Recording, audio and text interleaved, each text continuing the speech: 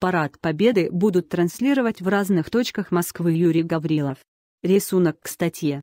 Для москвичей и гостей столицы, в том числе ветеранов Великой Отечественной войны, которые 9 мая не смогут попасть на военный парад, организованный на Красной площади в честь 70-летия Победы, надо устроить прямую трансляцию грандиозного армейского шоу.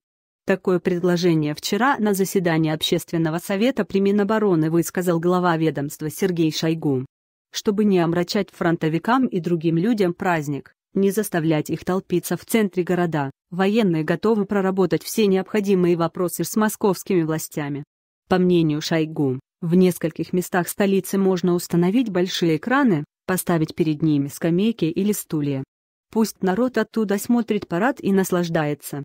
Ранее по теме военнослужащие почетного караула КНР примут участие в Параде Победы о том, что не всех ветеранов в День Победы пустят на гостевые трибуны, накануне сообщили некоторые СМИ. Министр призвал не спекулировать на этой теме. Он сказал, что разместить всех желающих нереально из-за ограниченных размеров Красной площади. И в такой ситуации прямая трансляция праздника на улицах города была бы хорошим выходом из положения.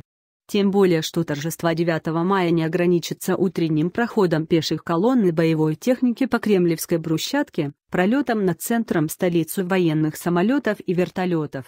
Те, кто в этот день окажется в Москве, станут свидетелями множества интересных мероприятий. А фронтовиков окружают особой заботой, в том числе врачебной. Вице-мэр столицы Леонид Печатников ранее сообщил, что ветеранов, приехавших в город без приглашения, будут встречать на московских вокзалах и бесплатно отправлять на автобусах в клинику респираторной реабилитации в Звенигороде. А тем, кто не нуждается в медицинской помощи, наверняка будет интересно посмотреть на современных солдат и новую технику российской армии. Интересные факты. Бессмертный полк пройдет по улицам Берлина сейчас участники юбилейного парада тренируются в подмосковном гарнизоне Алабина. Несколько лет назад там соорудили копию Красной площади, и военные пока осваивают премудрости торжественного марша на этой площадке.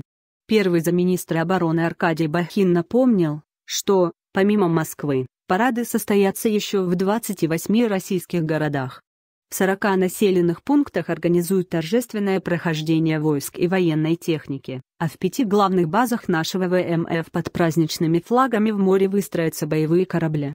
Торжества также запланированы на российских военных базах за рубежом.